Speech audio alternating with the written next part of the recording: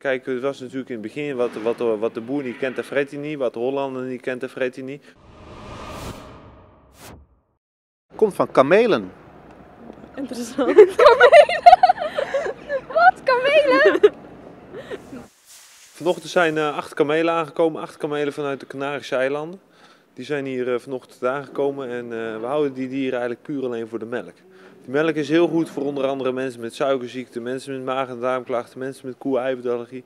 Die hebben heel veel baat bij het drinken van kamelenmelk. Als jij niet weet of jij kamel kamelenmelk drinkt of koemelk drinkt, dan zou je denken dat je koemelk drinkt. Ja, hij is anders. Nou, ik vind het niet echt lekker. Het is ook niet smerig, maar het is uh, iets heel anders weer. Somalische en Marokkaanse winkels, de, die mensen zijn van nou, thuis uit bekend met dit product. Hè. En kijk, het was natuurlijk in het begin wat, wat, wat de boer niet kent, dat vreet hij niet. Wat de Hollander niet kent, dat vreet hij niet. Dus had je dat uh, met die Marokkanen en die Somaliërs, die kennen het product. Die waren al overtuigd van de positieve eigenschappen. Dus die, vocht, die vochten er echt om. We hebben nu koeienmelk, we hebben geitenmelk en we hebben kamelenmelk. Wat is het volgende dier waarvan, waarvan we melk gaan, uh, gaan innen? Ik denk de, de olifant en die blaast er meteen een verhaaltje uit.